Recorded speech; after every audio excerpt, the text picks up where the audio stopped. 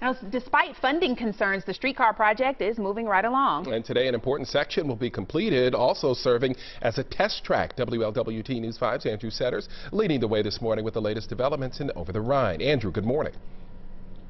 Good morning, Mark. Over the Rhine was the first area where the rails went in the ground, so it makes sense that it's the first area where those rails are complete this morning. The final portion of the Over the Rhine loop of the Cincinnati streetcar will be completed. It means the northern loop of the uh, streetcar route will be finished up, a milestone in the project that's recently been hit with some questions about cost thanks to a contingency fund that's running low. The streetcar project won't be completed altogether until 2016, but you will see streetcars rolling on the northern loop starting a lot sooner.